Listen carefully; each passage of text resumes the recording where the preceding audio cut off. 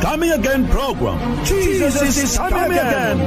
Program. Isang programa sa radyo na naglalayong dalhin ang pag-asa, biyaya, pag-ibig at kaligtasang handog ng dakilang Diyos sa bawat isang sa Kanya ay sumasampalataya. Jesus is Coming Again program. Jesus ay darating at di magluluwat siya'y darating. Kaibigan, humanda kang siya ay salubungin. Jesus is Coming Again program. Inyong makakasama at mapapakinggan ang kilala ng tagapagsalita sa radyo. Evangelist Cesar Diaz Dizon Jr. Sa Jesus is Coming Again program. Comes through the gate,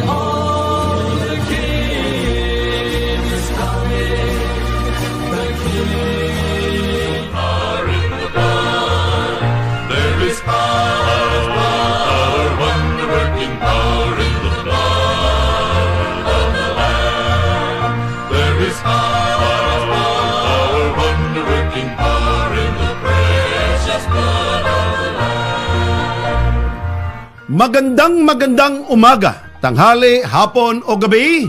Saan man po kayo mga kapatid, madatnan ng ating pong Jesus is Coming in Ministry. Kayo pong lahat ay atin pong inanyayahang ako po ay muli inyong subaybayan sa loob ng isang oras at kalahati sa ating lumalaganap na programa. Sa muli po ating kinukumusta at binabati ang buong Luzon, Visayas at Mindanao, lalo dito po sa aming lalawigan ng Palawan at Puerto Princesa City. 23 municipalities of Palawan and one city. Atin pong pinasasalamatan ng bawat isa po sa inyo na nagpadala ng inyo pong mga liham at kayo po mga kapatid ay malaking kabahagi sa ating pong programang Lumalaganap at ang Panginoon ng Langit ang magpala sa inyo sa akin sa ating lahat sa muli po nating pagsasama-sama sa atin pong Jesus is Coming in Ministry. Ako muli, ang inyong kapatid kay Kristo, Evangelist Cesar Diaz Dizon Jr. Sa muli po ay umaanyayang Pagpalain, ikaw ng Panginoon ako sa patuloy nating pag-aaral ng kanyang mga dakilang salita. Atin pong binabati po agad ang atin pong mga kapatiran ng atin pong mga early birds. Ngunit bago po yan, akin pong pauna sa inyo mga kapatid, ang inyo pong mga prayer request, inyo na pong ilagay sa atin pong ah, prayer request box at ipadala na po nyo agad para maisama po natin sa atin pong hardinang pananalangin maya-mayaman din. Atin din pong pinasasalamatan ng ating pong mga star senders. Salamat po sa inyo kapatid na hindi po kayo nagsawa bagkus patuloy po kayong nagpapadala ng inyo pong mga stars. Salamat po sa Panginoon na kayo po'y nariyan at patuloy pong nagbigay tulong ayuda sa ating pong programa. Kapatid, malaki po ang ating pong minimithing. Wala na po tayong brand out dito. Pagka tayo po'y mag-burn out kasi mga kapatid dito, tulad kanina po, burn out na wala pang internet. Kung sakali mang walang internet, at least di burn out. Ang gagawin na lang po natin, tatakbo na naman po doon sa kabila para po mga kapatid, doon na lang natin ipi-play. Dito po, magre-record na lang. At least hindi po burn out. Mahal ko mga kapatid, atin pong pinasasalamatan ang ating pong mga early birds at narito po ating basahin na.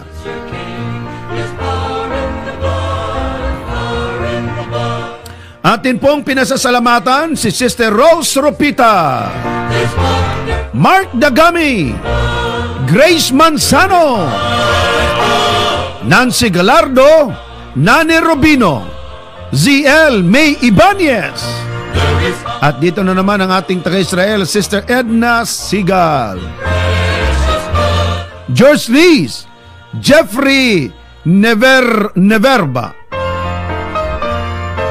Sally Ponsalan, Rosalie Pascual, Minerva Samera. Oh, pati na rin kay brother Arnel Samera ba?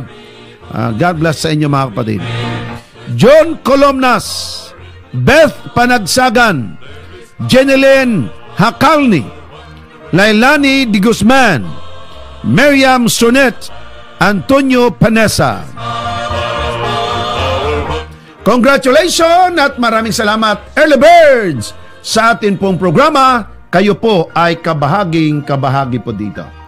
Mga kapatid, meron pong pinadalang katanungan sa atin at napaganda pong katanungang ating bigyang pansin maya-maya ng konti. Tayo po'y mananalangin. Dakilang Ama, sa amin pong panimula sa programa pong ito. Sa muli aming hinihiling sa inyo, Panginoon, kayo nawa ang siya pong sumaamin, magpala, ang kaalaman karunungan o ng langit, ang amin pong mararanasan. Salamat, Panginoon, na ikay nariyan. Salamat sa lahat ng bagay. Kayo nawa, Panginoon, magpala, lalo tigit sa mga masugid ninyong tagapagtuklas at tumutuklas pa pumapatnubay, sumusubaybay, sumusunod sa inyong programa. Salamat po, Panginoon, sa inyong pong pagdinig at pagtanggap sa aming mga dalangin. Sa pangalan ng aming Panginoong Jesus. Amen. For God so loved the world. Yan po ang tema ng atin pong pakikigang awit, papurit pa sa salamat sa Panginoon.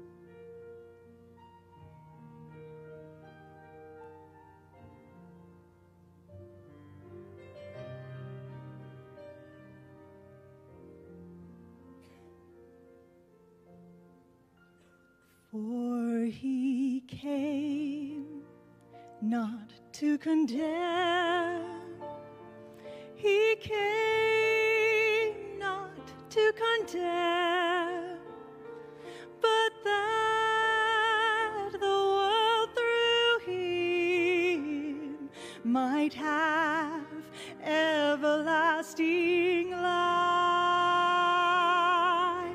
For God so loved this fallen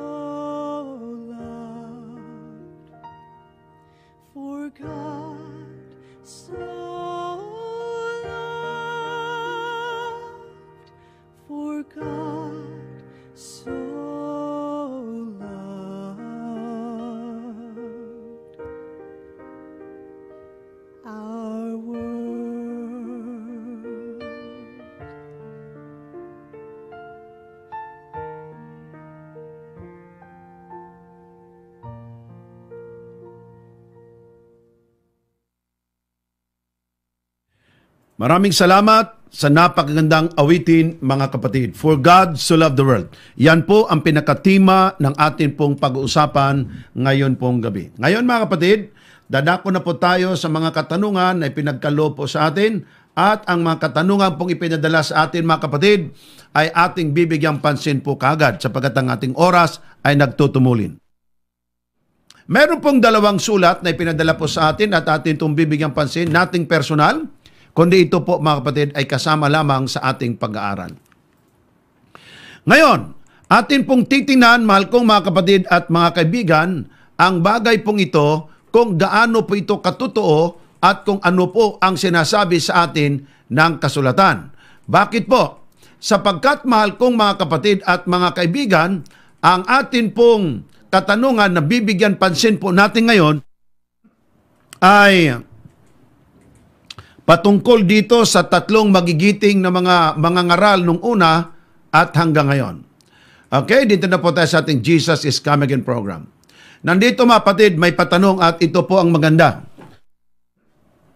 Nandito makita mo itong oh, mali yung spelling ng prophet. Okay. Soriano, prophet of God.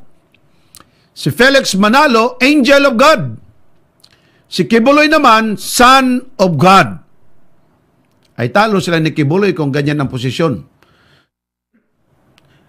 Ngayon mga kapatid, ah, saan ang tama sa tatlong ito? Ay magkaiba-ibang nagkiklaim, iba-ibang sikta at denominasyon, nag-aaway din naman, pero pareho silang nagkiklaim about God. So ang tanong mga kapatid ganito, tanong, pareho silang mga nag-claim na galing sa silangan, Pilipinas. Padala ng Diyos sa sanglibutan. Sino ang totoo? Tanong number two. Isa ba sa kanila ay totoo? So sa tatlong ito, may totoo bang isa dyan? Kalawa, tatlo sila ay totoo. O baka silang tatlo nga naman totoo. Number three, silang tatlo hindi mga totoo. Oh. Ay bakit po mga kapatid, naka-close parenthesis, sila ay kapwa Sunday keepers. Now, walang duda-duda o pagdududa, marami pong mga talata, ito pong si Eliseo Soriano, na ipinagkaloob na sa iyong katuparan sa aklat ng Sikaraya. Siya rin yung katuparan sa aklat ng Isaiah. Ganon din po ang claim ni Felix Manalo na siya po yung ibong mandaragit galing sa silangan. Si Kibuloy naman, iba ang kanya pong style. Kung di ako nagkamali, September 6 of 14, 2001, ay inilagay siya ng Diyos na ang tawag sa kanya, the appointed Son of God. Kaya tinaas niyang kamay, Stop, Lindol! Stop ang Lindol. Bakit? Appointed Son of God. Ito masaya. Lahat ng tao ay pwedeng magka-COVID. Pero kung magpamimbro ka kay Kibuloy, ang protection ay nasa kay Kibuloy lang. So saan dito sa tatlong ito? Sabi po ni Eliseo Soriano, siya ang katuparang hula sa Biblia. Si Felix Manalo, siya naman katuparan ng aklat ng Isaiah. Si Kibuloy naman ang katuparang siyang appointed son of God. Ang hindi maniwala sa kanya di maliligtas. Dapat dumaan sa kanya. Alam nyo kapatid, malaking bagay ito na dapat pag-usapan natin. Me personally, I have nothing personal with dating daan kay Ili Soriano. I have nothing personal with Felix Manalo, letigit patay na yan siya. I don't have any personal grudges with Kibuloy. Mga kapatid, kasi yun ang claim niya. Ang akin lang po dito, gawain ko, trabaho ko ang sumagot kung may tanong. So ang katanungan, isa ba sa kanilang tatlo, totoo, tama? O silang tatlo tama? Or silang tatlo mismo, hindi, mga tama? Eh saan sa tatlong ito? Kapwa sila gumagamit ng Biblia? At sabi po ni ah, Soriano, ang kanyang iglesia, mabasa sa Biblia. Church of God. Sabi naman ni Felix Manalo, ang kanya mabasa sa Biblia. Iglesia ni Kristo. Sabi naman ni Kibuloy, ang kanya na may mabasa rin sa Biblia. The Kingdom of Christ. So itong tatlong ito, magkaiba-ibang founder, magkaiba-ibang pananampalataya, magkaiba-ibang panindigan, magkaiba-ibang doktrina, pero kapwa silang nagkiklaim connected sa Diyos tulad ng Prophet of God, Angel of God, ang isa malupit talaga, anak ng Diyos, Son of God. Now, sa kanya daw iniwan ang susi. At nakakatuwa pa, Yung daw mga lindot iba, pindutin lang daw yung button na yon, pwede na maglindol kung saan. Bakit? Siya ang may hawak eh. Mga kapatid, sa nasabi ko na po, nothing personal with these people. Yan po ang isa sa ating pag-uusapan. Okay? Ngayon, atin pong puntahan muna ang unang tanong. Ito po yung unang katanungan ni Rogelio D. Sumagang ng Quezon City. Sabi niya, sa palagay ko, i-review ninyo ang inyong Bible. Malinaw ang sabi ng Diyos, Exodo 20, talatang 2. Ako ang Panginoon mong Diyos na naglabas sa iyo sa lupay ng Ehipto, sa bahay ng pagkalipin. Yan, yan sila may hugot line. Kaya gusto ng Diyos na sundin ng mga Udyo na mga nalipin ang Ten Commandments. Kasama ba ang Filipino diyan sa pagkalipin? Mga SDA. Mga, al- mga SDA, alipin ba kayo? Aalipin ba kayo? Sundin ninyo. So brother Sumagang, sige, sagang na karon ha. Ito nang gawin mo ngayon, pananggaan mo na yan. Alright, pakinggan nyo maigi. Quezon City pa naman ito. Ang tagal ko sa Quez- Quezon City. Ito, kaibigan, makinig po kayong mabuti. Ano po? Brother, ang iyo palang paniniwala na pagka nangilin ka ng sabat, ito'y sapagkat alipin ka. Pagka binantayan mo palang sabat, binantayan sapagkat alipin ka. Pag kay kay pala mangilin sa araw ng sabat, alipin ka. Kung ikaw pala pinakabanal mo ang utos ng Diyos ang araw ng sabat, alipin ka. So ang iyo agad na banat dalawa. General para sa mga Pilipino. Ang mga Pilipino ba naging alipin? Specifically, tinanong mo, kayo bang SDA? Alipin din kayo? Ano pat nangili ka ng sabat? Ito ang masabi ko sa inyo, Mr. Rogelio. Kahit kailan, wala kang mababasa sa Biblia na ang sabat ay tanda ng pagkaalipin. Wala. Wala kang mabasa. At wala kang mabasa sa Biblia na ang sabat ibigay ng Diyos kasi alipin kayo.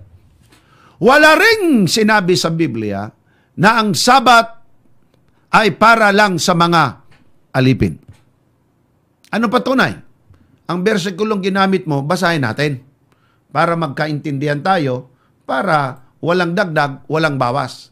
Ito po, kaibigan, tingnan po natin ang inyong talata. Exodo 20, 1 hanggang 3. Ang inyo kasi, talatang 2 lang. Basahin natin 1, 2, 3. Tatlong ating basahin. Ito ang sabi, ang lahat ng ito ay sinabi ng Diyos, Ako si Yahweh, ang iyong Diyos na naglabas sa iyo sa Ehipto at nagpalaya sa iyo mula sa pagkalipin. Talatang 3, dito nag-umpisa ang Ten Commandments. Huwag kang sasamba sa ibang Diyos maliban sa akin. Sinabi ba dyan mga kapatid, sa talatang yan na ang sabat ay tanda. Tanda ha? Tanda, tatak, marka sa pagkaalipin? Sa talata mismo wala. Pero nandoon sa iyong sinabi. Alipin ba kayo kaya dapat kayo'y sumunod yan?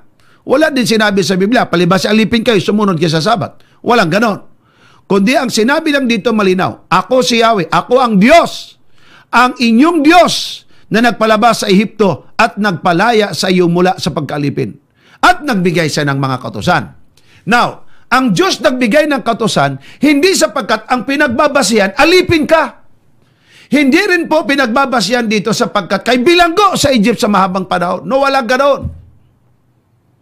Ang sabi ng Diyos, alalahanin nyo ha, kayo'y naging alipin, ako nagpalabas sa inyo. Ito ang aking mga kautusan na inyong sundon, sundin. Hindi niya sinasabi, sundin nyo kasi mga alipin kayo. No!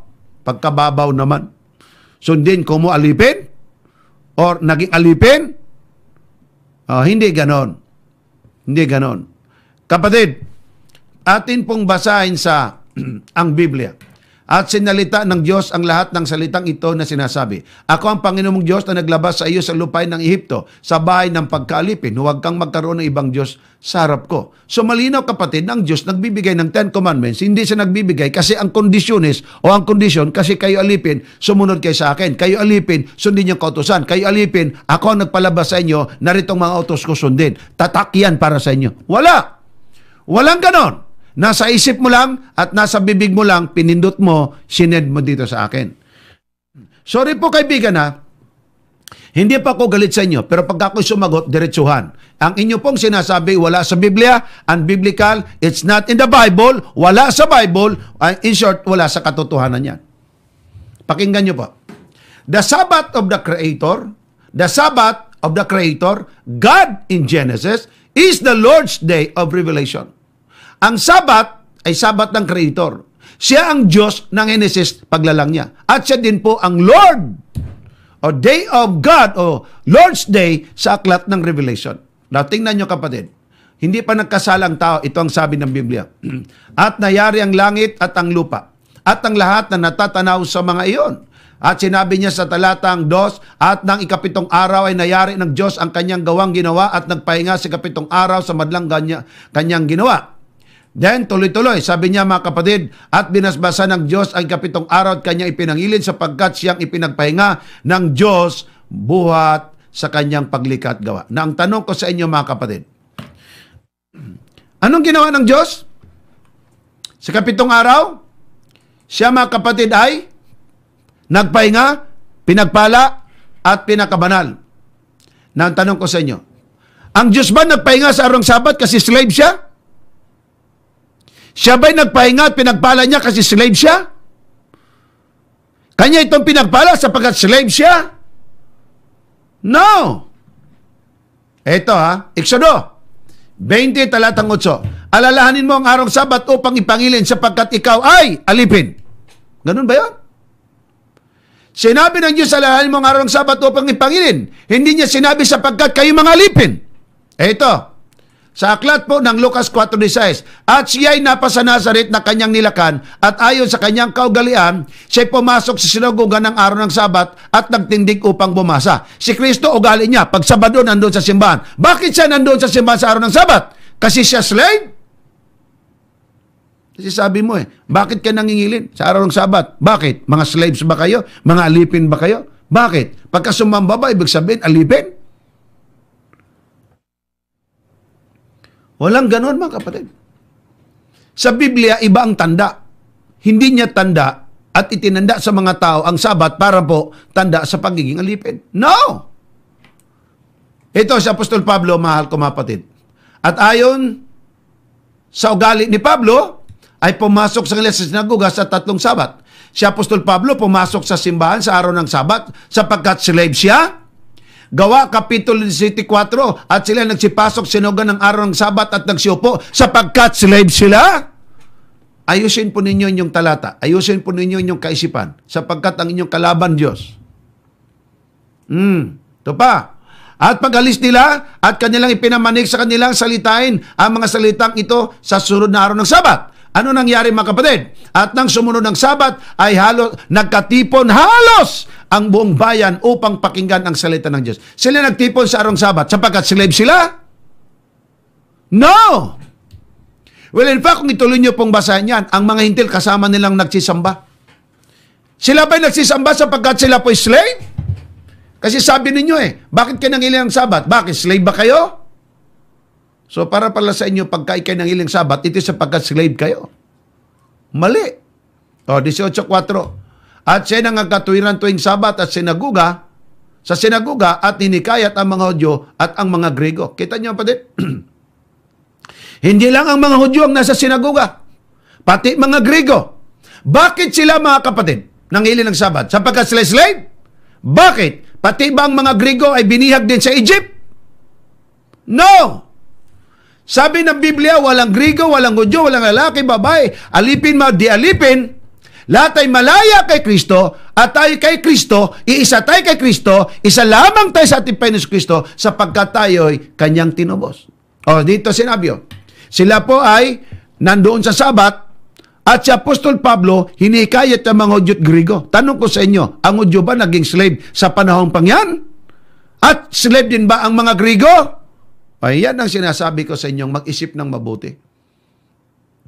Exodo, Kapitulo 20, o talatang 11. Ngunit, ang ikapitong araw ay sabat sa Panginoon mong Diyos. Na dito na ngayon tayo magka-problema.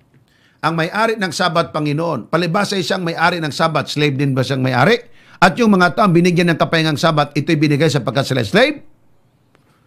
Mag-isip ng mabuti po. Ito, mga unang Kristiyano. At no'y araw ng paghanda at nalalapit ang Sabat, Lucas 23, 54 hanggang 56. Mga unang Kristiyano to ha? At ang mga babae at nagsisama sa kanya mula sa Galilea ay nagsisunod at tiningnan ang libingan at kung paano ang pagkalagay ng kanyang bangkay. Kanyang bangkay? Kay Panginoon Kristo. At sila nagsiuwi at naganda ng mga pabango at ng mga gwinto. Ito ang sabi. At ng araw ng Sabat, sila ay nangagpahinga ayon sa utos. Tanong ko sa inyo, nagpahinga sila ayon sa utos o nagpahinga sila ayon sapagkat sila'y mga slaves? Yan, isipin niyo po yan. Hindi po sila nangilin sa araw ng Sabat sapagkat sila slave. Ha? Sila'y sumunod sa araw ng Sabat at nagpahinga. Alinsunod, sang-ayon, naaayon, ayon, according to the law, ayon sa utos. Linaw kapatid. At ang utos na yan, sinulat ng Diyos sa dalawang tapyas na bato. Na ngayon, buhat dito sa lupa, aakyat sa langit ang mga maliligtas. Sabi ng mga operyan, bakit? May hagdanan papuntang langit? May hagdanan man o wala, hindi problema ng Diyos yan. Ang problema ng Diyos kung maliligtas ka ba, kasi mukha ka talagang ayaw makinig, Mr. Operian. Sa susunod pong linggo, ating pag-aralan na naman itong doktrina ng Operian. Akala ng mga Operian, pinagpahingahan natin sila o nagpahinga tayo para sa kanila. Swerte ninyo. Pero ang aking gagawin, tuloy-tuloy ko yung didiscusin sa inyo. Ha? Mr. Oferio Operian? Alright. Pagdating sa langit, anong sabi ng Panginoon? Pakinggan nyo maigi mga kapatid. For as the new heavens and the new earth that I am about to make will endure, magpatuloy, before me, says the Lord, so will your descendants and your names endure. Verse 23, and from new moon to another new moon to new moon, and from Sabbath to Sabbath, all humanity will come to worship before me, says the Lord. Ngayon, pagdating sa langit, tayo'y anak ng makapangyariang Diyos. Palibase ang sabi, sasamba pa rin tayo sa Panginoon sa arong sabat. Ibig sabihin ba ang mga maliligtas doon sa langit ay alipin pa rin ng Egypt?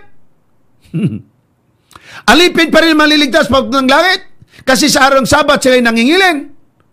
O ayos-ayusin naman ninyo po yung inyong kaisipang yan. Ha? Ligtas na nga, dinala sa langit para sa iyo, alipin pa rin. Bakit? Ang premise mo kasi, bakit kayo nangilin ng araw ng Sabat, binantay niyo ito? Bakit kayo alipin? Ang Sabat ay pinangilin lang ng mga Diyos sapagkat sila nag-alipin at tanda ng kanilang pagkalipin. No! Ikaw pang may sabi, review-reviewin naman ninyo yung Biblia. Ang Biblia ko mga kapatid, hindi lang ni-review ko. Talagang pinag-aralan ko yan at binabasa ko araw-araw. So ang tanong, pagdating natin sa langit, slave pa rin ba tayo? Kung yan ang pagkaunawa mo, di na bali ikaw na lang.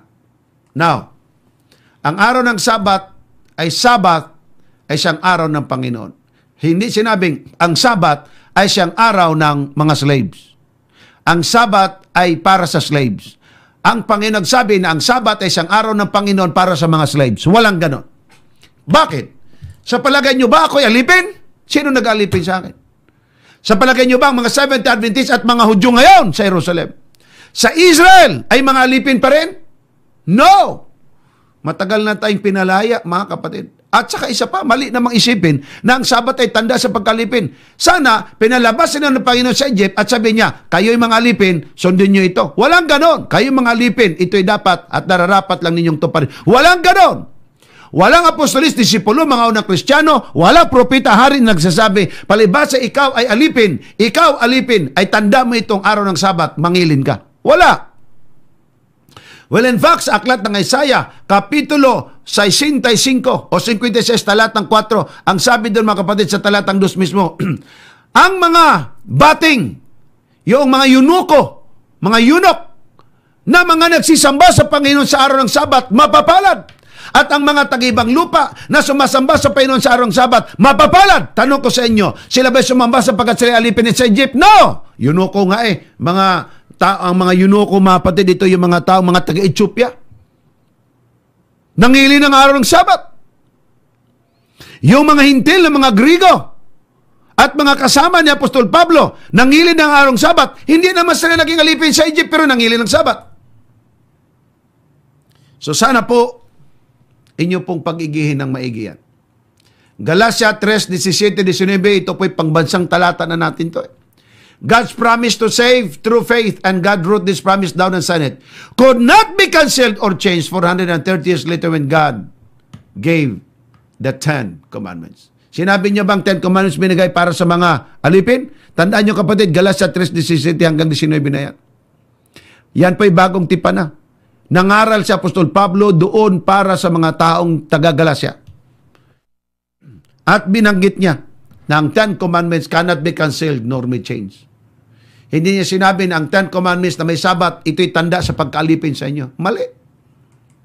Ito, Ephesians 6.1. Honor your father and mother. This is the first of God's Ten Commandments that ends with a promise. Ito'y pangako ng Diyos na kung ikay gumalang sa nanay tatay mo, hahaba buhay mo. At yan ay unang kautusan sa ikalawang tapyas patungkol sa kautusan para sa tao. Yan ay panglimang kautusan sa kabuuan ng sampung utos. Hindi niya sinabi, mangilin ka ng sabat, sundin mong nanay tatay mo, at iba pang kautusan kasi mga alipin kayo. No! Walang ganon. Tanungin natin ang isang Catholic Cardinal, si Cardinal James Gibbons, ano ang kanyang sinabi tungkol sa Sabat? James Cardinal Gibbons, The Faith of Our Fathers, page 89. Maaari mong basahin ang Biblia mula Hineses hanggang Apokalipsis. O di ang haba nito. At hindi ka makakasumpong ng isang linyang nagbibigay karapatan sa pagpapabanal ng araw ng linggo. At ipinatutupad ng mga kasulatan ang reliyosong pagtalima, anong dapat talimahin? Sabado, sinabi ba niya mga kapatid sapagkat pangalipin kayo? Hmm, Isipin niyo po yan. Ngayon, tanong ko sa inyo. Sinabi ba ni Cardinal Gibbons, mangilin kayo ng sabat sapagkat kayo mga alipin? Hindi niya po sinabi yung ganun, mga kapatid. Ha? Hindi po sila slaves. Okay, dito tayo. Sa mga taong pumunta talaga sa ilang at ito yung mga dating slaves. Pero mga kapatid, sila slaves nandoon sa Egypt. Nung lumabas sila, pinalaya ng Panginoon, slaves pa rin ba? Hindi na. Kumuha sila ng mana. Ito ang sabi ng Panginoon sa Exodo 16, 26. Anim na araw na iyong pupulutin, datapot sa kapitong araw ay sabat, hindi magkakaroon. Ng alin? Ng mana. Hindi sapagkat hindi lalabas sa araw ng sabat kasi slaves kayo. Oh. 23, Exodo 23, 16-23. At kaniyang sinabi sa kanila ito ang sinalita ng Panginoon bukas ay takdang kapahingahan, banal na sabat sa Panginoon. Sinabi ba niya mapatid, banal na sabat para sa mga slaves? Walang ganon. Ang sabat malinaw. Para sa Panginoon. Hindi niya sinabi, para sa mga slaves. Ito pa. Exodus 29, tingnan ninyo na sapagkat ibinigay ng Panginoon sa inyo ang sabat. So, sino nagbigay? Panginoong sabat. Nung pagbigay, anong sinabi? Kasi slaves. Kung kaya't kanyang ipinagbigay, ibinibigay sa inyo ang ikaanim na araw, pagkain na sa dalawang araw. Sa biyernes kasi, dalawang omer ang kukunin ng tao. Ang isang omer para sa araw ng biyernes, ang isa naman para sa araw ng sabado. Sabi po ng Biblia, hindi magkakaroon sa araw ng sabat. At sabi niya, ibinigay ng Panginoon sa inyo ang sabat, hindi sapagkat mga slaves kayo. Hindi niya sinabi kasi slaves. Exodo Kapitulo 6, 23. Anim na araw na inyong pupulutin na dapat kapitong araw sabat, hindi magkakaroon. Bakit sinabi niya ba sapagkat kay slaves kaya hindi magkakaroon? Walang ganon. Sa aklat po mga kapatid ng Biblia malinaw, Sabbath and the law. God placed the Sabbath command in the center of the Decalogue. Sa gitna talaga mga kapatid. At anong nakalagay? Alalahanin mo ang araw ng Sabat upang ipangilin. Hindi niya sinabi, alalahanin mo ang araw ng Sabat upang ipangilin kasi slaves kayo. Ang Sabat, ang tanda niya.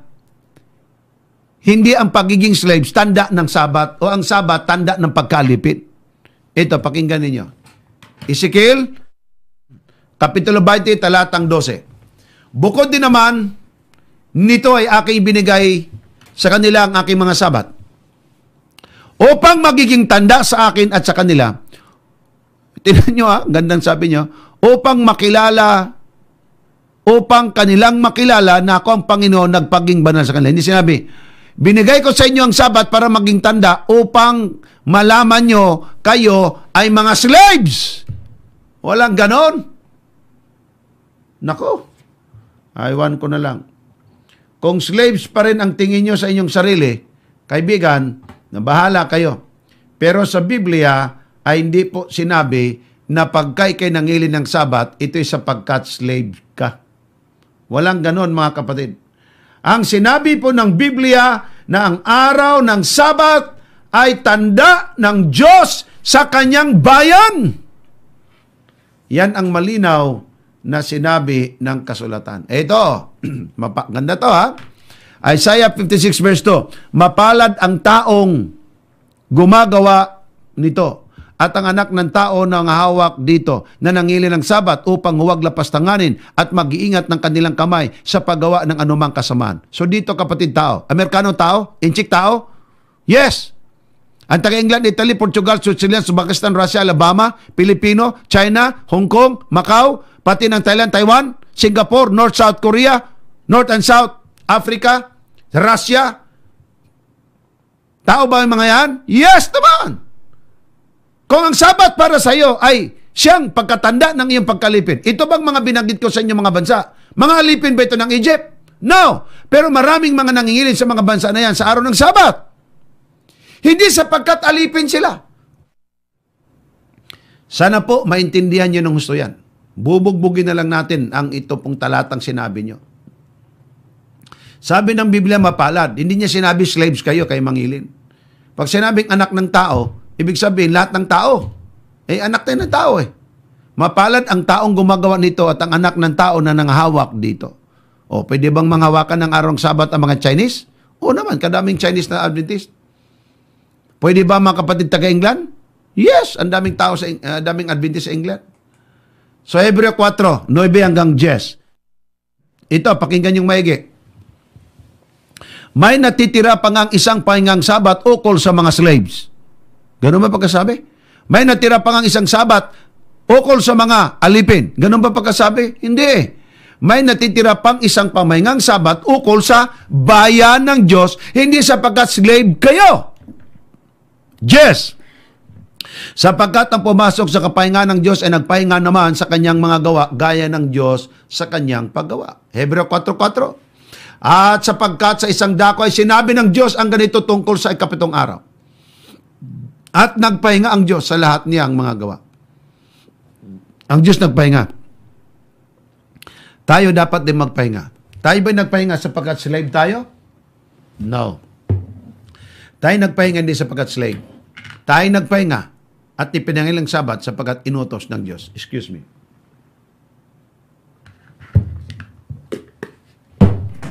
Kaya kapatid, kaibigan, baguhin po ninyo ang inyong kaisipan. Ang Diyos nagpahinga sa araw ng Sabat. Alipin din ba siya? Kaya sabi mo, ang mga Adventists ay nagpahinga sa araw ng Sabat. Bakit? Alipin ba kayo? Sa iyo pala, para, ka, para kang, kung nagpahinga sa araw ng Sabat, alipin na. No. Hindi po totoo yan. Ang ikapitong araw, tanda ng Diyos sa kanyang bayan, hindi sapagat alipin. Exodo, Kapitulo 20, talatang 10, ang kapitong araw ay sabat ng Panginoong Diyos. Ikapito yan. Hindi sapagkat slave ka. Marcos 2.27, ang araw ng sabat ay ginawa para sa mga tao. Hindi sinabi para sa mga slaves. Again, in check, tao. Ang mga taga-Taiwan, Thailand, Singapore, tao, yes, hindi sila slave sa Egypt. Pero nangingili ng sabat. Bakit? Sapagkat ang araw ng sabat ginawa ng Diyos para sa tao. Sino ka man? Kaya ang sabi nila, mabasa ba sa Biblia na si Adan ay nangili ng sabat? Mabasa ba sa Biblia na si Eva nangili ng sabat? Babasa ba si Enoch, si Elijah, si Ezekiel, si Daniel, si Sosia, at iba pa? Kapatid, ang linaw eh. Ang Sabat ay ginawa ng Diyos para sa tao. Kung tao ang tingin mo sa mga taong yaon, ay di para sa kanila ng Sabat. Hindi kailangan kapatid isa-isang tao dapat isulat. Si Abraham ng ilang Sabat, si Isaac ng ilang Sabat, si Jacob ng ilang Sabat. The fact na sinunod nila ang kautusan ng Diyos at ang Sabat ay isa sa mga kautusan ng Diyos, alangan naman nila bakit? Sana sinabi, at sinunod ni Abraham ang kautusan ng Diyos maliban sa arong Sabat, nilabag niya. Walang ganon. Ang punto de vista, kapatid, ito. Sa buong lumang tipan, ang Sabat ay isang tanda ng Diyos at ng kanyang bayan. Hindi sapagkat slaves. Ito pa. sa buong lumang tipan, intindihin ninyo ating balikan ng konti, ang Sabat ay kanilang ipinangilin, Exodo 16.26, kasi binigyan ng Diyos kapitong araw. At pagdating sa kapitong araw sa aklat ng Ezekiel 12.20, tanda, maging tanda ito ng Diyos sa kanyang bayan. Di lang po yun. Ha? Ipinangilin ng Panginoon ang araw ng Sabat, hindi sapagkat slave siya. Ang Panginoon Kristo, ugali niya pagdating sa araw ng Sabat, nandoon sa simbahan, hindi sapagkat slave siya. Sa Matthew Kapitulo 12, 18, sapagkat ang anak ng tayo Panginoong Sabat, hindi sapagkat slave siya. Marcos 2.28, Lucas 5, kaya ang anak ng tao ay Panginoon din naman ng Sabat, hindi sabi, kaya nga ang anak ng tao Panginoon din ng mga slaves na nangilin ng Sabat. Kaya po, itong inyong katanungan, ang sabi ninyo, sa palagay ko, i-review ninyo ang inyong Bible. Ni-review na po namin. Malinaw na ang sabi ng Panginoong Diyos, Exodo 28, Ako ang Panginoon mong Diyos na naglabas sa iyo sa Egypt, sa lupay ng Egypt. Uh, again ha, Pilipino, maraming nangingilang sabat. Isa na ako doon at kami dito sa buong Palawan at buong Pilipinas. Hindi kami alipin ng Egypt, pero nangingilin kami. Kaya mali yung yung premise. Kaya gusto ng Diyos na sundin ang, ng mga Diyo na mga alipin ang Ten Commandments, kasama na ba ang mga Pilipino dyan? So ang iyong punto, kaya isinabihan ng Diyos na sundin ang Ten Commandments kasi alipin kayo. Mali, wala sa Bible yon. Kalawa, bakit ang mga Pilipino naging alipin din? Sagot ko, mali. At mali ang kaisipan mo. Mga isday, alipin din ba kayo? Kapatid, ang sabat ay binigay ng Diyos at ginawa at inilagay sa utos, hindi sapagkat alipin tayo. Kung alipin sa pagiging makasalanan, pwede pa. Pero yung alipin sa Egypt, nako, hindi pa nga tayo nakarating sa Egypt, alipin pa. Kaya dapat po, inyo yung isipin at inyong pakatandaan. Okay? I hope clear po sa inyo. Dito tayo sa mga ito. Alright. Si Eliseo Soriano, ang claim, prophet of God. Felix Manalo, angel of God. Apollo Kibaloy, malupit. Walang maliligtas kung di kayo dadaan sa akin. Siya, mga kapatid, ang appointed son of God. Claim ni Kibuloy. Claim din mga kapatid ng iglesia ni Manalo. At claim din ng iglesia ni Soriano. Buwelta ng iba siguro. Ay bakit si Ellen White propeta din ninyo? Kapatid, si Ellen White, ako mismo kinikilala ko siyang propeta. Bagamat sabi niya, hindi siya nagpakikilalang propeta. Pero makikilala mo ang kanyang mga gawa, gawa ng isang propeta. Wala akong question kay White, hindi sapagkat Adventist ako. Bakit? Itong mga nakiklaim kasi, mga Sunday keepers yan. Ang totoong propeta ng Diyos, kapatid, ay sumusunod sa kautusan ng Diyos. Hindi linggo. Ang linggo wala yan sa Bible. Mga talata ni Soriano. Siya na yung nasa aklat ng si Karaya. Sugo ng Panginoon. At di lang siya, may mga dinamay pa. At si Ili Soriano, 73, 74 years old, na matanda na. So, kaedad palito ng nanay ko.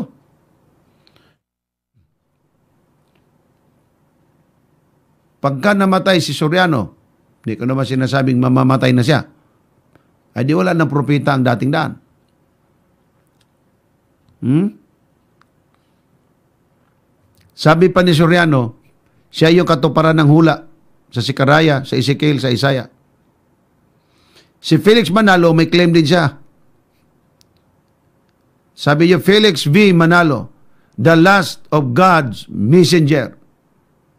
O, kasi sabi niya, ang angel messenger. Kaya he is the angel of God. Si Kibuloy, si Felix Manalo, messenger of God. Si Kibuloy, son of God. Talo ka dyan. Napahinto pa niya ang lindol. Ang problema lang, di na siguro kayanin ang power niya kasi araw-araw na rin lumilindol eh. Siya pang may hawak ng buto ng sanglibutan na kung pindutin niya kung anong mga bansa ang mga lunod at mga matay, eh, nasa, siya ang may hawak. Kaya magpakabait kayo kay Pulo Kibuloy. Delikado yan. Hmm? Sampulan ko kayo sa mga talatang kiniklaim tulad ng iglesia. Isaiah 46 verse 11. Na tumatawag ng ibong mandargit mula sa silangan. Nang taong gumagawa ng aking payo mula sa malayong lupain. Oo, aking sinalita, akin namang papangyarin, aking pinanunukala, akin namang gagawin. So itong claim ni Felix Manalo, siya daw yung ibong mandaragit galing sa silangan. Okay? 46.11 Calling a ravenous bird from the east. So sa palibase, ang Philippines ay east. Pero tandaan nyo ha, ang Philippines ay nasa east, pero hindi siya nag-iisa sa east. Okay? At yung east namang yan, kung inyong basahin sa Biblia, ang tinutukoy Babylonia.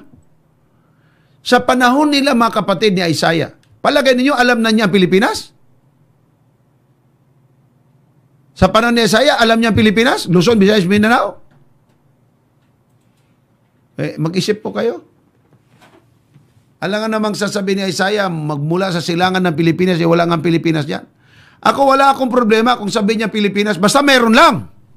Pero kung wala naman, papalapalagay mo lang, abay, again, sinasabi ko na, bahala na kayo. So alamin natin, paano natin malalaman ang totoong sugo galing sa Diyos? Kasi marami silang claims. Ano naman ang sinasabi ng Biblia tungkol sa mga claims ng mga ganitong uri ng mga tao? Now, nag-claim si Soriano, nag-claim din naman si Kibuloy, nag-claim naman si Felix Manalo. Huwag tayong magalit. Bagkos makinig. Alamin natin kung anong totoo. Anong malay mo kung totoo naman? Kaya lang nung inalam ko mga kapatid, hindi talaga. Bakit? Ito ang sabi ng John. 1 John 4 verse 1. Beloved, believe not every spirit. Hindi man sinabing believe, believe not every spirit. Ha? Kaya sabi niya, believe not every spirit. Pero may espiritu din dapat paniwalaan, hindi naman na lahat na lang talaga, wag na lang paniwalaan. Pero wag kang maniwala agad. Believe not every spirit, but try the spirits, whether they are of God, because many false prophets are gone out in the world. O, patay na dito si Mr. Soriano kung siyang propeta. May false prophets na agad sinabi. Hindi sinabi, wag paniwalaan. Kailan sinabi, suriin. O magandang balita Biblia. Tingnan nyo ha. Mga minamahal, huwag ninyong paniwalaan ng bawat nagsasabing nasa kanila espiritu. Sa halip, subukin. Alamin. Ha? Search, try every spirit. Sa halip, subukin ninyo sila upang malaman kung talagang mula sa Diyos ang espiritong nasa kanila. Sapagkat marami ng huwad na mga propita sa mundong ito. Kapatid, kaibigan, magandang bagay ito na dapat nating pag-isipan ng malalim. Bakit? Sapagkat ang pinag-uusapan dito hindi dolyar, hindi lupa, hindi bahay o ararian. Kaligtasan! Hindi mo sinuri, hindi naman pala espiritu ng Diyos yun. Nayari ka pa. So sabi ng Biblia, ang bawat espiritu dapat alamin, suriin, siyasatin, alamin. Na ngayon, paano malaman? Ang Biblia may solusyon. Ito, pakinggan nyo maigi ha. Ezekiel, o Isaiah 8 verse 16. Give this teaching to my followers for safekeeping.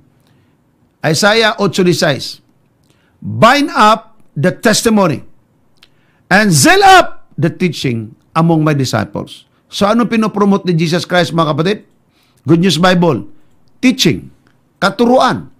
Okay. Sa ibang version, The Lord said, Write this agreement, tie it up, and seal it so that it cannot be changed. Hindi dapat ma-change to. Anyong di dapat ma-change? Give these teachings to my followers for safekeeping. So ano mga kapatid ang sinabi ng ah Good News Bible? O no ng King James Version? Teaching. Isaiah 2.16. Ito mga kapatid ay Good News Bible. Makikilala ang mga followers for safekeeping sa pamagitan ng teaching. Kanina, teaching. Ikalawa, teaching. Ikatlo, ito mga kapatid, my message and my teachings are to be sealed and given to my followers. Nako, ito palang subukan. Makikilala pala, hindi sapagkat ang pangalan ay nasa Biblia, kinopya lang din sa Bible, dinala sa Secret Mission. Nagdidimandahan pa kasi paunahan. Nako, nakakahiya itong ganito. Ngayon, anong dapat gawin? Malaman! Sa anong paraan? Malalaman sa pamamagitan ng teachings. Yan ang sinabi ng Biblia. Now, anong teaching? Ito. Ulitin ko ha. ang tunay na mga ngaral, hindi malaman at wala ang bersikulo sa Biblia na pagka ang pangalan ng kanyang kinopya mabasa sa Biblia, ay tama na siya. Sabi ko nga sa inyo, Iglesia ni Cristo, ang dami ng opya niyan eh. Iglesia ni Cristo dito sa Pilipinas. Pagdating mga kapatid sa Russia, hindi na Iglesia ni Cristo. Pero this yung versikulo. Ibang translation ay pagdating sa English kapatid, Church of Christ. Ay may naunang Church of Christ kaysa Iglesia ni Cristo sa Pilipinas. Na nagparehistro din. Iba-ibang teaching, iba-ibang nagtayo. Iba-ibang iglesia to. Kaya sabi ko sa inyo, hindi sa pangalan makikilala. Saan makikilala? Sabi ni Jesus Christ, through teaching. Sabi ng Diyos Ama, through teaching. Set up the teaching among my disciples. Give these teachings to my followers for safekeeping. So, ang katuruan pala, ituturo doon sa kanyang mga followers. Isaiah 8.16 sabi niya, Teachings are to be sealed and given to my followers. So, ito palang teaching kapatid, ibibigay dapat doon sa mga followers. Eh, ano teaching nga? Ito, Aklat ng Juan 15.19 Kung tinutupad ninyo ang aking mga utos ay mananahan kayo sa aking pag-ibig. Gaya ng aking pagtupad sa mga utos ng aking ama. Kung inutos, ay di yun ang aral niya. At ako'y nanatili sa kanyang pag-ibig. So sa anong paraan kapatid? Tumutupad sa mga kautusan ng ama. Isaiah 8.20, anong sabi? Ito ang subukan dapat sa teaching ha. Ito ang teaching, 8.20. Sa kautusan at sa patutuo. Kung itong mga mga ngaral, prophet of God, angel of God, son of God, kung hindi dito susunod, ito ang sabi ng Biblia, 8.20. Sa kautusan at sa patutuo, kung hindi sila magsalita ng ayon sa kautusan at patutuo, sabi ng Biblia, tunay na walang umaga sa kanila. Sa English kapatid, yung salitang walang umaga, ito ang sabi, To the law and to the testimony, if this speak not, not according to this word, it is because there is no light in them. Sabi ni Jesus Christ, I am the light of the world. Kung wala silang pagsunod sa kautusan at mga patuto ni Kristo, then Jesus Christ, which is the light, is not in them. Wala sa kanila. Ay kung walang light, edi madilim. Bakit ka pupunta sa madilim? So ano po mga kapatid ang subukan? sa teaching. Ano ang teaching? To keep the love of God and to the testimony of Jesus Christ. Si Jesus Christ mismo nagpatotoo, makikilala sila kung sinusunod ng kautosan sapagkat sinusunod ko rin ang kautosan ng aking Ama at ako'y nananatili sa kanyang pag-ibig. Ngayon, ang mga nag-claim na sila ang prophet, angel of God at son of God, dapat kung magturo sila, ito ang ituro, Ezekiel 44.23, at kanilang ituturo kung sila nga'y prophet of God, son of God at saka angel of God. Ito ang tituro niya sa kanyang followers ng Panginoon at kanilang ituturo sa aking bayan ng pagkakaiba ng banal at ang karaniwan at ipakikilala nila ang sa kanila ang marumi at malinis. So anong sabi ng Panginoon mga patid? Ipapakilala, ituro doon sa aking mga followers, sa aking bayan. Ano ituturo? Ang malinis at marumi, ito makain, hindi makakain. Pero anong klaseng mga ngaral ito? Galing kaya kay, kay Soriano, sa iglesia, at saka kay Kibuloy, lahat ito kumakain ng karumaldumal na sinasabi ng Biblia. Di malayo na agad sa teachings. Di lang po yun. 23 yan, 24. Dapat sa katuruan, turo, doktrina, dapat magkapareho. Talatang 24 ng 24 ng Israel. Ito ang sabi. At kanilang iingatan ng aking mga kautusan. Nag-iingat pala ng kautusan, hindi lumalabag. At aking mga palatuntunan, continue lang ito ng 23 kapatid ha, sa lahat kong takdang kapistan. Ito pa, dapat ang nagkiklaim na prophet of God, angel of God, at saka son of God, at kanilang ituturo at kanilang ipangilin ang aking mga sabat. Ang linaw. Di kumakain ng karumal-dumal. Iniingatan ang kautosan ng Diyos ipinangingilin ang sabat. Sabi ni Propeta Isaiah, kung di sila sumusunod dito, walang katotohanan sa kanila. So ang tanong, paano malaman? Ako kapatid, wala na akong pakialam doon na sila galing sa silangan, ibong mandaragit, sila yung propetang sinabi ni Isaiah, darating sa Pilipinas, sa malayong lupain ng silangan. Wala na akong pakialam doon. Kasi bakit? Kahit pa balibalik tarit, mga matay pa sila kung ilang beses, mahal ko mga kapatid at mga kaibigan sa kanilang katandaan o kung anumang dahilan. Tandaan ninyo, ang Biblia hindi magbabago. Pwede mong i-claim, pwede mong angkinin, pero ang Biblia di mo maangkin. Bakit? Yan ay pinatutungkol ng Diyos sa mga karapat dapat. Eh kung hindi naman katapat dapat, ay di hanggang claim ka na lang, magkapigtas-pigtas ng ugat mo sa liig at mamatay nila at mamahinga sa ngalan ng kamatayan. Hindi pa rin talaga pwedeng mailapat sa iyan. Diyos ang nakakaalam.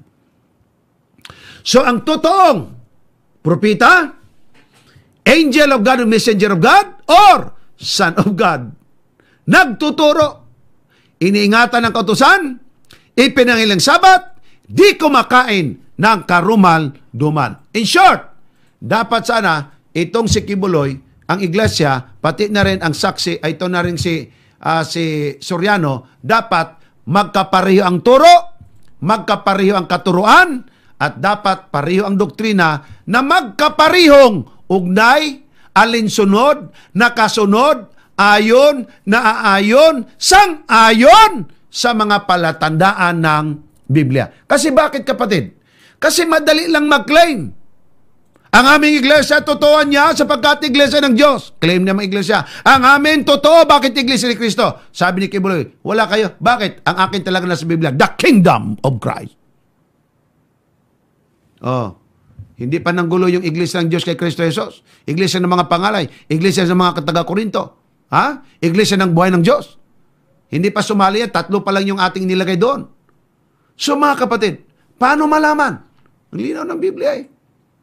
Malalaman kasi itinuturo kung siya may sugo ng Diyos, ituturo niya kung anong pagkakaiba ng malis marumi. Eh kay Mr. Soriano, yung baboy ay sa lumang tipan lang yan. Makain na yan sa ating panong kristyano. Sa iglesia, same story. Kay Kibuloy, ganun din. Eh hindi pumasa dito sa mga palatandaan. Kaya sabi naman Biblia, huwag paniwalaan agad lahat ng Espiritu. Bagkos, subukin! At ang pagsubok ay galing sa Biblia. Anong palatandaan? Nilabas natin. At isa ito. Ito ay kalawa. Ang mga kautusan, iniingatan. At ang sabat at palatuntunan, ipinangingili ng araw sabat at ang palatuntunan, sinusunod. Yan ang malalaking punto na sinasabi ng Biblia. Oh, pagdating sa pagkaiba ng malis marumi, itong tatlo bagsak. Kasi kumakain ng karumalduman. Pagdating sa sampung utos, itong tatlo bagsak din. Bakit? Eh, di batihin ka pa nga na wala ng kautusan eh. Kung ang mga palatuntunan ng Diyos ay sinunod ba, Ayan, mag-isip. Sapagkat ako'y naniwala, hindi. Number four, ang tunay na mga ngaral, ipinangilang sabat. Tanong, ito bang tatlong ito'y nangingiling ng sabat? Laitin ka pa, wala ng sabat. Kaya hindi papasa sa mga tuntunin at palatandaan at surian ng Biblia. Ang linaw po niyan mga kapatid. Nothing personal as I've said. So, dapat maniwala din salvation by grace. Diyan lang ang paniniwalaan nila, salvation by grace. Iyong apat, wala na. Dapat lahat ng palatandaan. Sabi nga ni Moses sa panahon pa niya, oh, 4.1, O Israel, dinggin mo ang mga palatuntunan at ang mga katulan, kahatulan, kautusan, palatuntunan, kautusan at aking tuturo sa iyo upang sundin ninyo. Turo, ha? Turo ang tinutukoy niya upang kayo mabuhay at pumasok at inyong ariin ang lupay ibinigay sa inyo ng Panginoon. Kung tama man siyang propeta ng Diyos, anghel ng Diyos, at saka anak ng Diyos, dapat ang katuruan ay buong katuruan. Ano ang katuruan, kapatid? Ito, sa panahon ni John Wal, ah, ni Waldo, ni John Waldo, tinuro ni Waldensians, ng Waldenses, ang Bible. Hindi na tinuro ang mga doktrina ng Bible. Basta hawakan mo lang Bible. Panahon ni John Hus, kapatid, dapat masunurin sa Diyos. Pero yun lang ding maliit na liwanag ang kanilang nakikita. Panahon ni Martin Luther, ito yung inayawan niya sa Iglesia Katolika. Sa grace tayo na, na, naliligtas sa biyaya ng Diyos, hindi yung pagpapaluin ng sarili panahon ng Simana Santa. Panahon ni John Calvin, dapat lumago tayo sa ating pananampalat pananalig sa Panginoon. Panahon ng Anabaptist, dapat binyagan sa pamagitan ng bautismong ilubog immersion sa tubig. Yan ang topic natin na karaang gabi. Si John Wesley, hindi lamang mga kapatid obedience, hindi lang lumago, kundi mamuhay na may kabanalan. Panahon ni William Miller, tinuturo second coming of Christ. Ang tinuro ba nila ay masasama? Oy, kagaganda. I salute them. Pero hindi kasi yan ang buong katotohanan. Ang mga katotohanan wala sa marami ngayon, hindi itinuturo ang Ten Commandments na sinabi ng 44 verse 23 at 24 na dapat kasundin at hindi ipinangingilin ang araw ng Sabat. Ang tama kapatid, buong katotohanan at yan ang itinuturo ng inyong mga kapatid at mga kaibigang Seventh Day Adventist. Ano ang dapat? Buong katuruan ng Biblia. Buong katotohanan. Hindi bahagi lang ng katotohanan, kundi lahat ng katotohanan at aral ng mahal ng Diyos. Yan ang tunay na iglesyang dapat palakasin ng sino mang nagkiklaim, claim, propeta ng Diyos, anghel ng Diyos, at anak ng Diyos. So John chapter 15 verse 10, ito pang sabi, Kung tinutupad ninyo ang aking mga utos, ay magsipanahan kayo sa aking pag-ibig. Gaya ng aking pagtupad sa mga utos ng aking Ama. Kung si Kristo tumutupad, si Soriano pa kaya ang di tutupad? Kung si Kristo ay tumupad, ang iglesia pa kaya ang di tutupad? Kung ang Diyos ay tumutupad, si Kibuloy pa kaya ang di tutupad? Kaya lang, sa tatlong ito hindi pwedeng isang tama, sa tatlong ito hindi pwedeng dalawa, sa tatlong ito hindi pwedeng tatlo ang tama. Bakit? Sa subukan, hindi po sila pumasa. Ito ang sabi ng Apocalypse 14.12. Narito ang pagtitiyaga ng mga banal ng mga nagsisitupad ng mga utos ng Diyos at ng pananampalataya kay Jesus. Ang Sabat ay nandoon paloob sa sampung utos. Nagsitupad ng mga utos ng Diyos at may patutuo o testimony of Jesus. Hindi nila sinunod niyang kautosan kasi sila slave. Ono 1, 2, 4, ang nagsasabing nakilala ko siya at hindi tumutupad sa kanyang mga utos ay sinungaling at ang katotohanan wala sa kanya. Ang iglesia, ang saks, ang ang ah, kay Kibuloy, pati na kay Soriano, hindi sumusunod at nagtuturo ng kautosan. Paano mo masabing nasa kanya ang katotohanan? Ono Juan, Kapitulo 5, talatang 3, sapagkat ito ang pag-ibig sa Diyos, nating to pa rin ang kanyang mga utos at kanyang mga utos hindi mabibigat. Sinunod natin ang kautosan ng Diyos sapagkat hindi ka, hindi sapagkat ikay slave, because we love the Lord. Isaiah 8.16, bind up the testimony and seal up the teaching among my disciples. So anong basihan ng katotohanan? Teaching. Sabi po ng isa pang version, the Lord said, write the agreement, tie it up, and seal it so that it cannot be changed. Dito mag-change. Anong di mag-change? Give these teachings to my followers for safekeeping. So mga kapatid, ang mga followers pala, binigyan ni Kristo ng kanyang mga teachings. Isaiah 2.16, My message and my teachings are to be sealed and given to my followers. Ito kapatid, isa dito ay ang 10 commandments na tinutukoy ng Biblia. Sinusunod natin hindi sapagkat slaves tayo.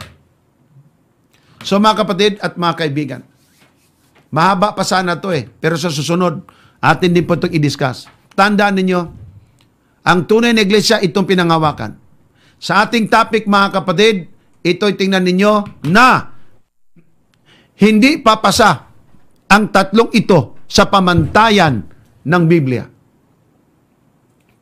Kahit pa magkanda ugat pa, maglabasan pang ugat dito, hindi papasa. Umpisahan mo kay Soriano na ang kautusan binabago pa, pagkaharap niyang katoliko, mabasa sa Biblia ang sabi ng sampung otos, ang ribolto at larawan ay huwag sundin. Pagka 70 Adventist ang kausap niya, ang sampung otos, wala na, panis na yan, sa lumang tipan, sa mga Hudyo lang yan. Pagdating sa iglesia, ang ganda ng pangalan, Iglesia ni Kristo. Pero una, hindi naniwala sa kadyusan ni Kristo. Iglesia ni Kristo, hindi nangingili ng sabat. Natutuwa ko sa mga iglesia. Sa panahon ng debate, ginagamit nila ang ang aklat ni Ellen White na may nabasa ang Iglesia ni Kristo. Pag-debate namin, sabi niya, ito bang sinabi ni Ellen White, tama, mali? Sabi ko, tama, alam nga namang mali. Sabi ni Christ, ang Iglesia ni Kristo, o sabi ni Ellen White, ang Iglesia ni Kristo, ang tunay na Iglesia. Palakpakan ng mga membro sa panahon debate. Nung cross-examine na, tinanong ko siya, Nabasa mo ba kung anong klaseng Iglesia ni Kristo? Kasi mismo si Felix Malanog sabi, hindi sapagkat nag-claim Iglesia ni Kristo, ay tama na lang at totoo. Sapagkat maraming hindi totoong Iglesia ni Kristo. Malinaw yan. So yung tanong ko sa kanya, yung bang Iglesia ni Kristo binasa mo, totoo yan? Sabi niya, oo. Sinabi nga ni Ellen White eh. Pinaniwalaan mo gusto? Oo naman. O ikatlo kong tanong, anong araw ng pagsamba ng Iglesia ni Kristo totoo dyan? Sabado o linggo? So bakit? May sinabi ba dito? Yan ang problema mo. Hanggang sa page 23 lang. Basahin sa 24 at 25. At ang Iglesia ni Kristong nangili ng araw ng Sabat. O di hindi kayo? O hala, palakpak pa. Palakpak. Sige, palakpak. O, hindi na nakapalakpak. Binasa lang kasi Iglesia ni Kristo ang totoo. Hindi naman sinabi kung anong klaseng Iglesia ni Kristo. Hmm, sipin mo yan.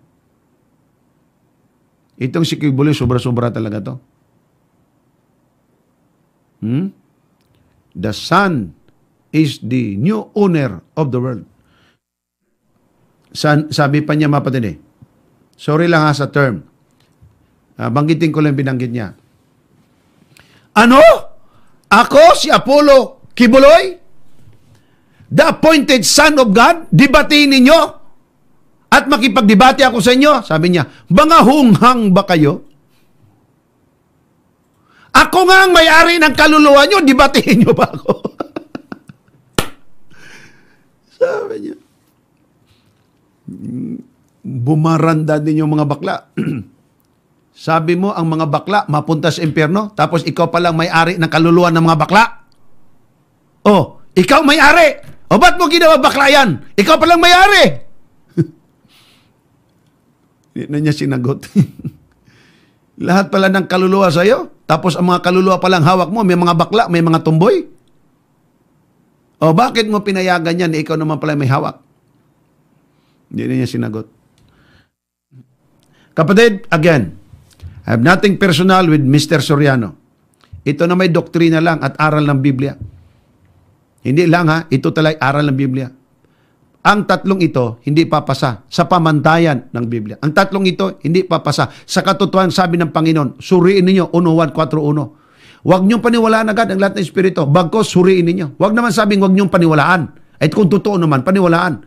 Pero ayon sa Biblia, sa pamantayan, ilang pamantayan lang yun? Apat pa lang nga, lima pa lang nga yung sinabi ko, hindi na pumapsa eh.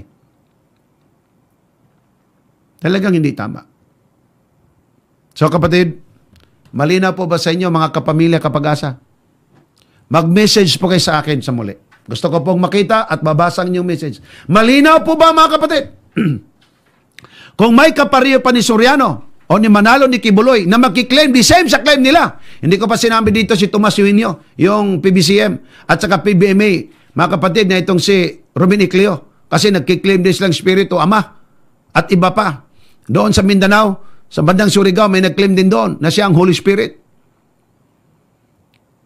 Si Kibuloy, Son of God. Yung sa Mindanao, Tinagong Dagat. God the Father. Doon mga sa Surigao, the Holy Spirit. Kita nyo ang Holy Spirit, ang Ama, Anak, Espiritu Santo, kanya-kanya silang claim. Mababa-baba lang ito kay Soriano, kay Propita lang. Medyo mataas-taas itong kay Felix Manalo kasi angel, pero mas ma- pinakamataas itong kay Kibuloy kasi son of God, appointed pa ng langit. Pinakita sa kanya, Kibuloy, ikaw ngayon ay aking appointed son. At walang dadaan sa kanya na makakapunta sa langit. Kung hindi dadaan sa kanya, di makapunta sa langit. Isipin nyo kapatid, si Kibuloy hindi yan kilala sa buong mundo. Bakit? Kilala ba yan siya ng mga Afrikano lahat? Kilala ba siya mga kapatid ng lahat ng mga Muslim sa buong mundo? Mamatay na si Kibuloy, hindi niya maikot ang buong mundo. Na ngayon, paano mo may pangaral ng mabuting balita at ikay nakapirmi lang halos sa Davao? Oo, pumupunta ka sa ibang bansa tulad ng Amerika. Pero lahat ba ng mga bansa, o lahat, lahat ba ng mga states ay napuntahan mo sa isa?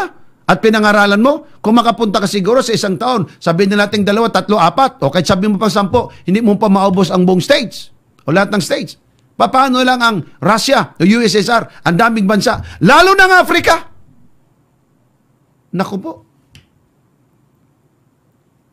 Kaya kung nakabase kayo dito, ewan ko na lang, sa inyo na po yan. Again, nothing personal. Pero mga kapatid, mga kaibigan, mga kapag-asa kapamilya, ka-evangelist, mga ka, ah, mga ngaral, malina po ba sa inyo ang ating pag-discuss kung sila ba'y pumasa sa pamantayan? Ulitin ko ha, tanong sa itaas. ang tanong, pareho silang mga nag-claim, ha?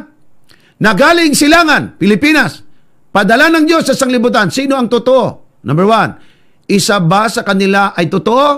Hindi pumasa. Tatlo sila ay totoo, mas lalo nang di pumasa. Number three, silang tatlo hindi mga totoo, pumasa sila doon. Again, nothing personal. But this is a comparative study according to the Bible. Na ngayon, ang mga membro, dapat mag-isip po kayo. Sa halip magalit kayo, eh sana po mas mabuti kung pag-aralan po ninyong mabuti din naman. Tapos inyo din pong banggitin. Si Ellen White ba pumasa sa pagiging propeta ayon sa Biblia? O gawin nyo rin. Panuorin ko. Then sasagutin ko na naman. Yay? Ilagay nyo. Subukan nyo si Ellen White. At kung ma-prove nyo sa Biblia, isa ako sa di maniwala at isa ako sa sasama sa inyo. Pero kung di nyo ma-prove sa Biblia, gawa-gawa nyo lang din, abay, ibang storya yon. Kayo na lang bahalang sumunod dyan. Mga kapatid at mga kaibigan, I hope naging clear po sa inyo ito at tayo po mga kapatid ay dadako po sa ating hardin ng pananalangin. By the way, choose you this day, sinang sundin, ang Biblia o ang mga leaders ng simbahan. Tayo po mga kapatid ay dadako sa ating pong hardin ng pananalangin.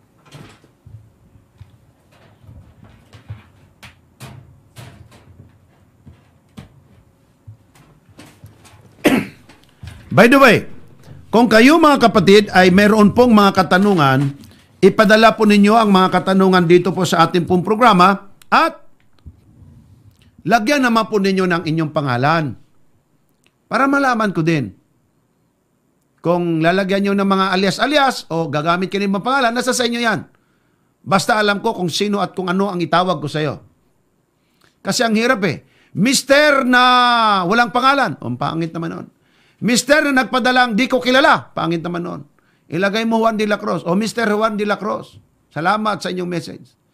At kung kayo ay taga-Iligan, taga-Pampanga, Bulacan, San Pablo, Marikina, kung saan man, dako ng mundo, kapatid at kaibigan, kayo pong lahat ay aking inanyahan. Kahit 70 Adventist ka, lalo tigit kung medyo na, na hindi ka pa naliliniwanagan. ay dito kapatid, liliwanagin natin sa tulong at biyaya ng dakilang Panginoon. Again, mag-message po kayo dito sa amin. Salamat po sa ating pong mga star senders. Ngayon pa lang, nagpapasalamat po ako sa inyo. Kung hindi nyo po alam kung paano magpadala ng mga stars, kayo po'y mag-contact lamang, magtanong kay Brother Miko. At kung sakali, kayo pong mga kasama dyan, ng mga nag-comment, alam naman ninyo na siya nagtatanong, di niya alam. Kung alam naman nyo, pakituruan na lang po. Okay? Ganon po ang ating gagawin, mahal kong mga kapatid at mga kaibigan. Then, tayo po ay dadako na sa atin pong hardin ng pananalangin.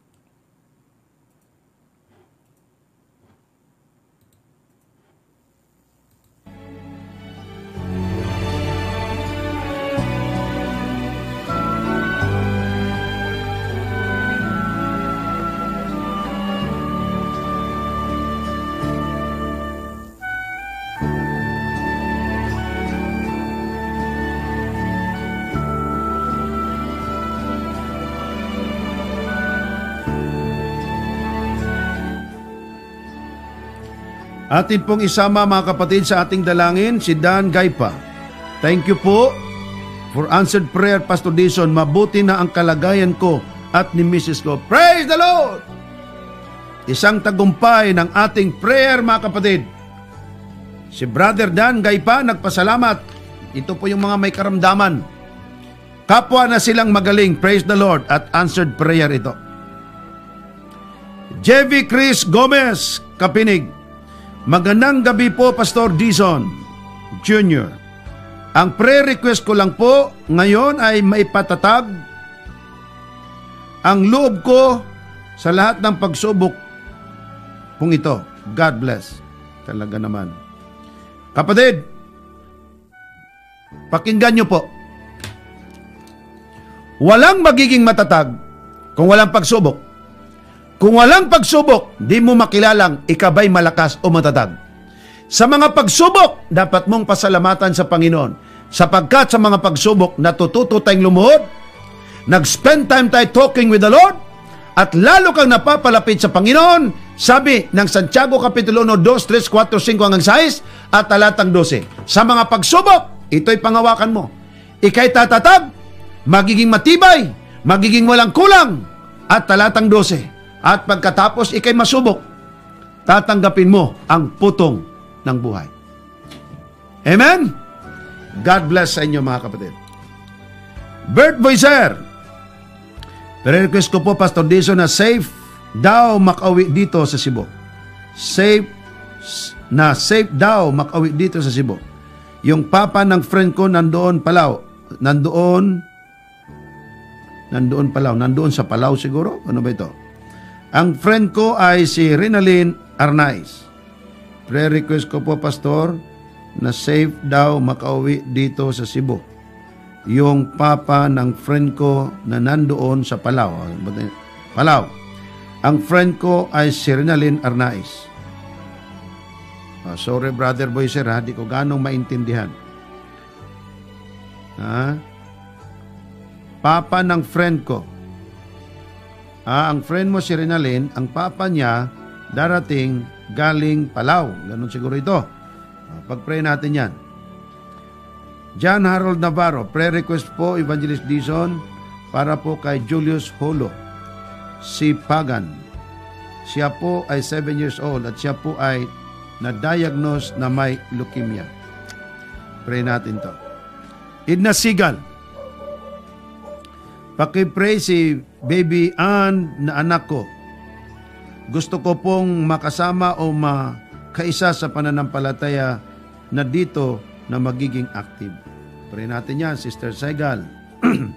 Darwin Magaluna Litargo, Pastor, salamat po sa mga prayers para makasumpong trabaho. Anak kong si Enoch Gilien na kasumpong na po siya. Ah, Sabi niya, training pa lang, at salamat po sa Panginoon na kasumpong na siyang trabaho. Amen. Brother Latargo, alam nyo, matagal-tagal na natin itong pinagpipray. Salamat sa Panginoon. Meron po tayong ipinagpray ding isa na magkaroon, sabi niya, na-stress na raw siya. Huwag po kayong tumigil patid. Ang, pa- ang promise ng Panginoon, ang tumutok-tok bubuksan. Ang maghanap, makakasumpong. Ang hingi, bibigyan. Huwag po kayong ma-discourage. Nga?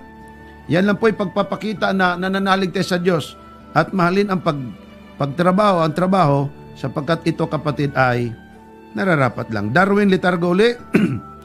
Pero request po ang aking mga anak na sina Johnny Gillian, Michael, Jankobe, Reynold, G- Reynold Ying, at apo ko na si Juan Connie, espiritual na kalusugan.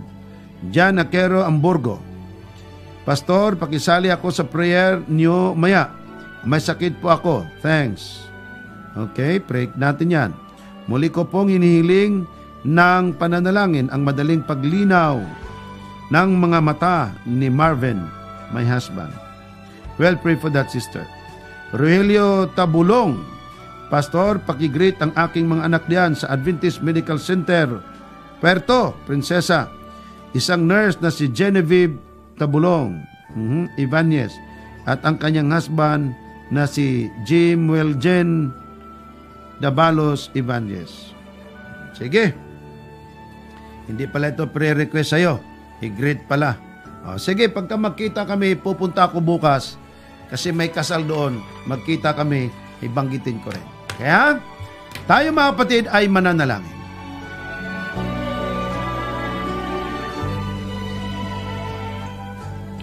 Dakila naming Diyos na nasa langit, ikinagagalak namin ang inyo pong mayamang pag-ibig.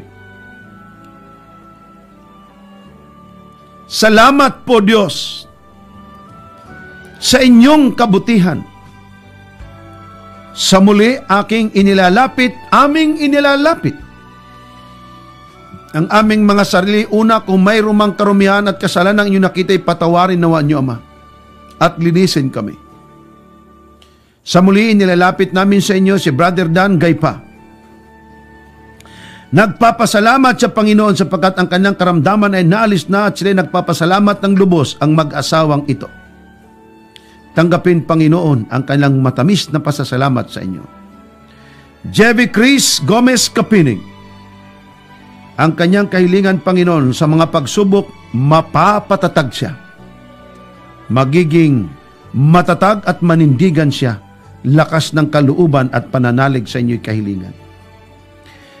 Bird Boy Sir, ang kanyang kaibigang si Sister Renalyn Arnaez, ang kanyang ama ay uuwi na sa Cebu, galing Palau. Ingatan, Panginoon, ang kaibigan at kapatid na ito. John Harold Navarro, ang kanyang kahilingan si Julius Holo Zipagan, 7 years old Panginoon, meron na po sa kabataang ito ang karamdaman ay leukemia. Panginoon, wala pong imposible sa inyo. Magagawa niyo, Panginoon, ang mga bagayng pagpapagaling sa kanya. Edna Sigal, kanya pong mga anak na si Bibian, tulungan Panginoon na makasama na niya sa pananampalataya at maging active worker of the truth, soldier of the truth, ambassador of the kingdom of heaven. Darwin Magalunan Litargo, Nagpapasalamat sa inyong lubos, Panginoon, sapagkat nakasumpong na ang kanyang anak na si Enoch Reynold Gillian ng trabaho sa kabila ng pandemyang nararanasan ng buong Pilipinas. Kanya din pong kahilingan Panginoon na si Johnny Gillian, Michael, John Covey, uh, John Covey, Reynold Yeng, at apo niyang si Joan, Connie, pagpalain ng espiritual na kalusugan ang mga ito, Panginoon. John Quero Amborgo, mayroon siyang karamdaman, Ama. Sa muli po, Panginoon, inilalapit namin sa inyo na pagalingin po ninyo ang kapatid na ito at inyo pong dalawin man din. Ang aming kahilingan, Panginoon, na si Brother Marvin, ay pagpalain niyo po, Panginoong Lubos, sa pagpapatuloy. Ang kanya pong kagalingan nawa ay maging lubusin, lubusin, Panginoon, at maging lubusan ang kanyang pagkagaling. Ingatan din po si Sister Lynn Mercado at ang buong sangbahayan, Panginoon. Rogelio Tabulong, ang kanyang mga mahal sa buhay, Panginoon, na sa Adventist Hospital. Inyo rin pong ingatan, Ama, at pagpalain ang mga ito. Na maging masigasig sa pananampalataya. Aming kahilingan, Panginoon, at nakikiusap kami, Panginoon, sa inyong mayamang pag-ibig, na inyo pong tulungan, patnubayan at pagpalain ang mga may karamdaman, karamdaman espiritual, pangihina sa pananampalataya, ingatan ang mga biyahe, ingatan ang kalusugan. Kayo nawa, Panginoon, ang Panginoon ng mga Panginoon sa buhay nila at Diyos ng mga Diyos. Sa inyo po, manahan ang pag-ibig nila at ipagkalob inyong kapangyarihan at pagdampulay upang ang pagpapala ipagkalob sa kanila, O Diyos. Salamat po sa inyong mayamang pag-ibig. Kayo po ay aming pinakikiusapan at aming nilalapitan, Panginoon, ng aming mga kahilingan ay mayroong katugunan. Salamat, Ama, sa inyong pagdinig at pagtanggap sa aming taus-pusong mga dalangin. Ngayon, bayan ng Diyos sa muli, tanggapin ninyo ang pag-ibig at biyaya ng Ama. Ang pag-ibig at biyaya ng Diyos Anak. Ang pag-ibig at kapangyarihan ng Diyos Espiritu Santo ay mapa sa inyong lahat, mapa sa ating lahat, sa pangalan ng aming Panginoong Jesus. Amen. Amen.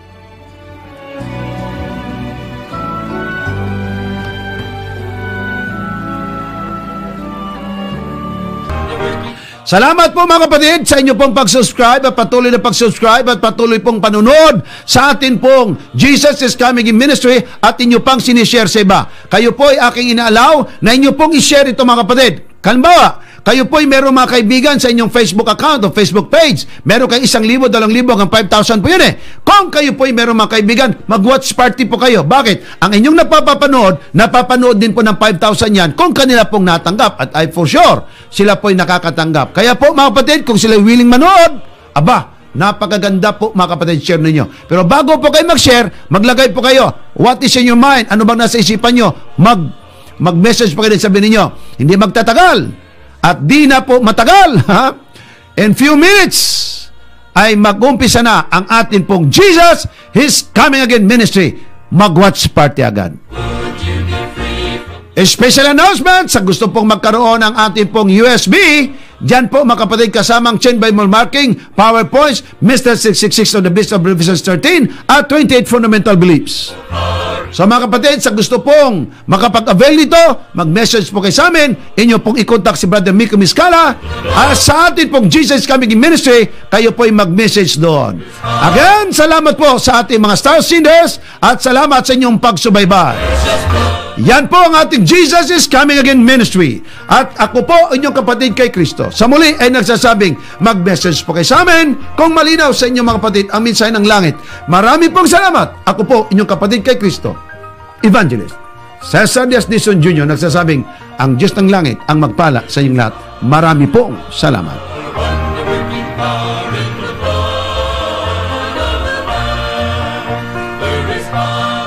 Power wonder, working power. God bless you mga kapatid. Maraming salamat.